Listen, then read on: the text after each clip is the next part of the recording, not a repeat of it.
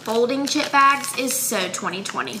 My dad asked me for my hair straightener. He's bald, but then he showed me this trick. Cut off the original seal of the bag, then seal with a straightener. It doesn't leave any residue and it takes less than 10 seconds.